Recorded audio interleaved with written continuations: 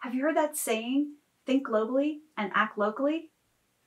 When I was a teenager in 1990, I learned about the threat of global warming and that preserving forests was important to remove carbon from the atmosphere. So I teamed up with other teens to raise money to contribute to the worldwide fundraising effort among children and teens of 44 countries that led to the creation of the Children's Eternal Rainforest Preserve in Costa Rica.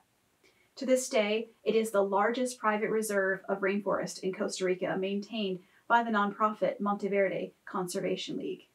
Because of that early experience, I learned respect for the delicate balance of Earth's life sustaining ecosystems.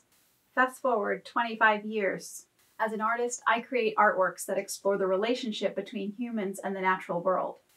I'm Ivana Damien George, interdisciplinary artist, and I believe that art has the power to raise awareness and connect to people's hearts in a way that can inspire change. Do you agree with that philosophy?